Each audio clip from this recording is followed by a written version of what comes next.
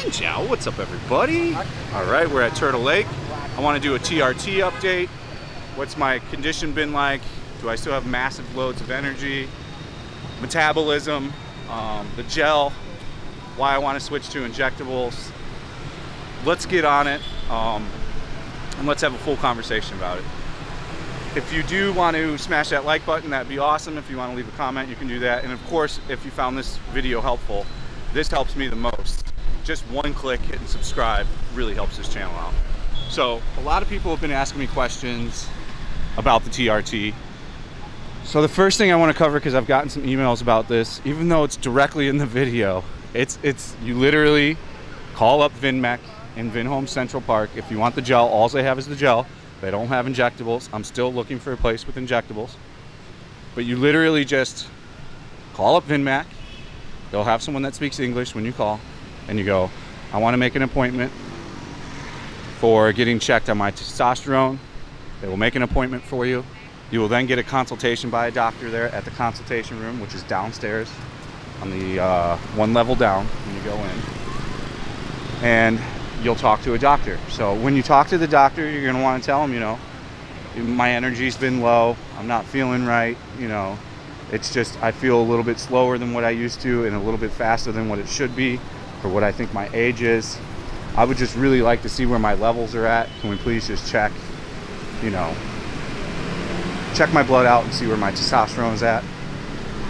Now, if you want to do this all in one day instead of like I had to come back because I, I went in like around 11, make your appointment for like 8 a.m., 9 a.m., because then you're in that window when you just woke up and when they need to test testosterone. So then the, if you go and do it that way, they'll be able to draw your blood, do a panel.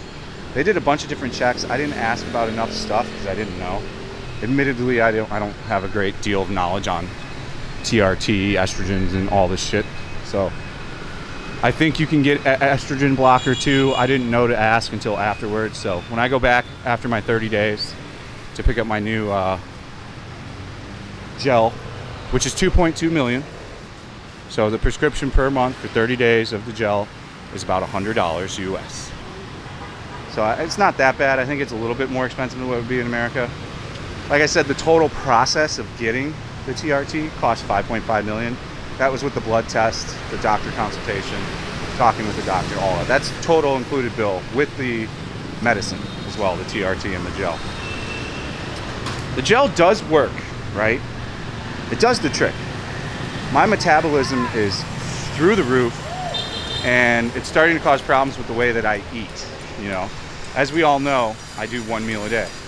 And usually what I mean by one meal a day, because everybody likes to take everything so literal, is I at least try to do a 20 or 22 hour fast. And then I'll eat for like a two hour period. So that can be more than one meal. You know, I could have something, something, something, and then an hour later have a little snack, and then I'm done. I create like a window. Sorry about that. Vietnam. Hold on. All right, we're back. So yeah, I, I used to create a window, right? And I would eat in that window. But now the problem is, since my metabolism's so high, and I'm lifting weights every day, and like lifting heavier weights than what I was before because I, I just can, you know? I'm hungry as a wolf by like noon. Like it is extreme hunger. Like, you know, you kind of get hungry during the day a little bit when you do. Oh, pot's down. Was it fighting?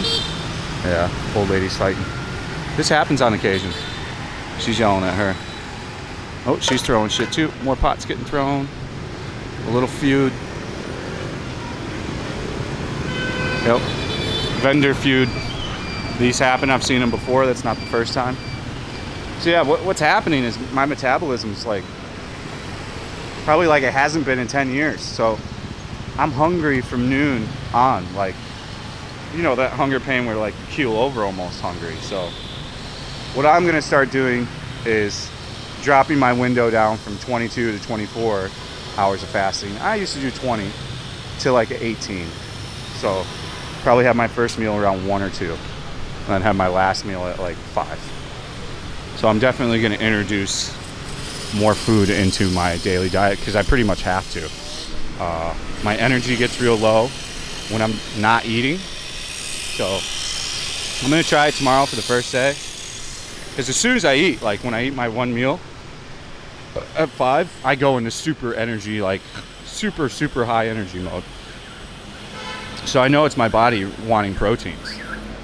So I'm gonna keep eating kind of like, I wouldn't say I'm doing a carnivore diet because I'm eating vegetables too, but I'm eating primarily meat and then veg. But like a lot of meat and a little veg. Like usually my veg will be cucumber. Like I'll have a couple cucumbers with whatever meat I'm eating. As I talked about in the video, you'll probably see before this, I have been eating for the past like week or two just lean beef in like a hot pot setting of just like a spicy hot pot. And what I've been doing is cutting up cucumbers, putting that in there. Cut up a carrot, put that in there. And then that that's kind of my veg. And that works well. That, that when I eat that at, at five or six, it, I'm full for the rest of the night. I don't need any more food. But like I said, the problem I'm running into now is that I'm getting hungry at like pretty much at 11. Like I'm getting hungry way earlier and way more extreme, and then having energy dip down because my body's requesting that protein. And that could be just because I'm going hard too, you know. I'm, I'm running, I'm swimming, I'm going to the gym. So after like a week being on it, I'm on my two weeks now, I think. I put on like a kg or two because I started eating more too. Like, so now I'm adjusting. So now I'm going back down in size and figuring out what works. So I just got to get there. I talked to a couple of my friends on TRT here. They said it takes like two two months for your body to really level out for the hunger and all that stuff. So that's what I'm gonna try. And probably what my first meal of the day will be is like some some chicken, some chicken, and a couple veg. I'm still not big on loading up on carbs, unless it's my cheat meal, and then I'll have pizza. Pretty much that is my go-to cheat meal is now pizza at uh, Seven Bridges. It's a good pizza. It's good quality. I can eat two slices. I'm full. It lasts me till I go to sleep. So that's kind of been my go-to cheat meal is uh, two slices of, because they're big New York slices. You know, almost, two slices would almost be like a 75% of a pizza you would order in Vietnam here. Because they're actual like, they're really the only place besides uh, Paper Plate, which is terrible pizza. No offense to Paper Plate if you're watching. Uh, ugh. And then some New York place called New York New York Slice, which was also terrible pizza. But those two had actual like New York style pies and uh, pizza slice size. Jimmy's is hands down the best pizza still here. Uh, yeah, blows everything away. It's not a New York pizza, even though it's supposed to be. You know, you're not going to get a New York pizza out of New York. It's pretty simple. Some can get close to it, but the possibility of getting close to it in Saigon, Vietnam, like not not really happening. Not happening. So yeah, I mean, that's that's been the real big difference and the real struggle now. Other than that, you know, I'm already making gains in the gym. You know, what would take me a long time to go up kgs and weight, I've just done in like a week and a half, two weeks. So that's pretty awesome as far as I'm concerned. I'm pretty stoked with it. And I can feel the, the gains at the gym, you know.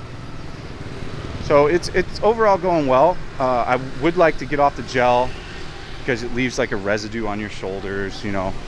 I'm usually doing my run a half hour after I take the gel, so I'm taking a shower like an hour after I'm taking the gel, hour and a half. So it's not that big of a deal, and I'm fully like washing that area. And by the way, it doesn't rub off if you jump in a shower or go for a swim a, a half hour, hour later. It all absorbs into your body within 15 minutes. So once it's absorbed, you can wash it off then even. Oh, here's some tourists. Perfecto. A couple other tourists. We've got tourists. Beautiful sight to see.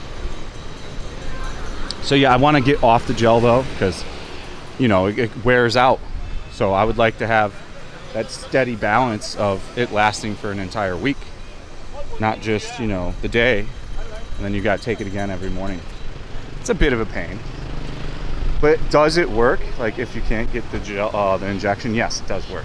And if your if your testosterone's low and you need something, definitely get the gel. It's not gonna, I'm not a doctor and I don't know shit about doctor stuff, so that's my pre-warning to, uh, to that.